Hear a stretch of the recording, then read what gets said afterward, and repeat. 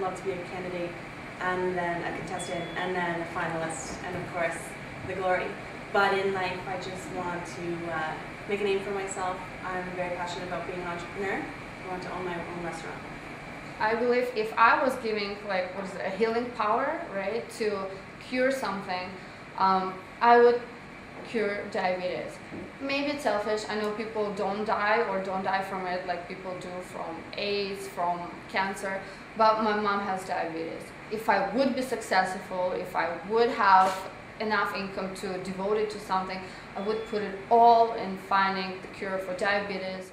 And when you asked for love, I set my soul on fire.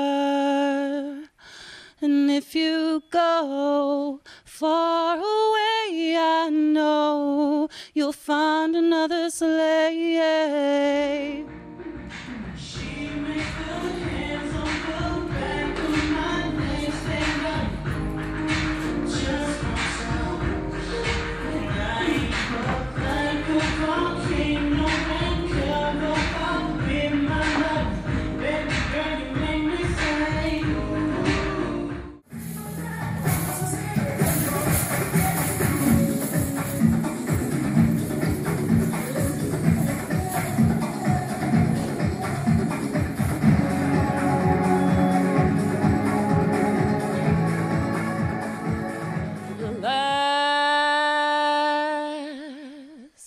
my love has come along.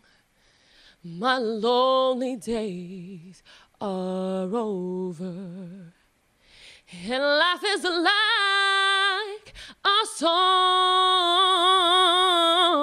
Have fun, you happy people. The drinks and the laughs are on me.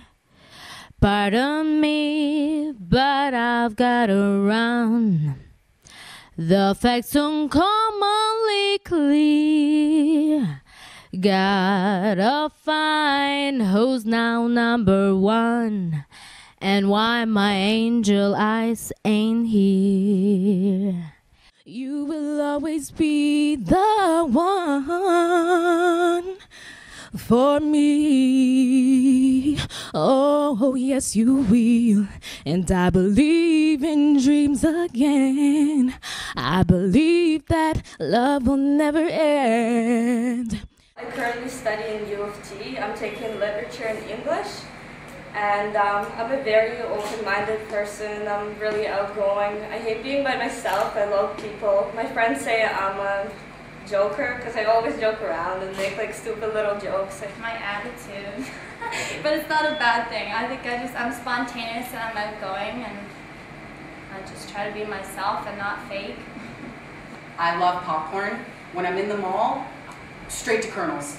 Straight to Kernels. I have to. Popcorn with caramel, popcorn with spice, just popcorn. I could live on that for the rest of my life. Taylor, the boy, bring me Java, bring me joy.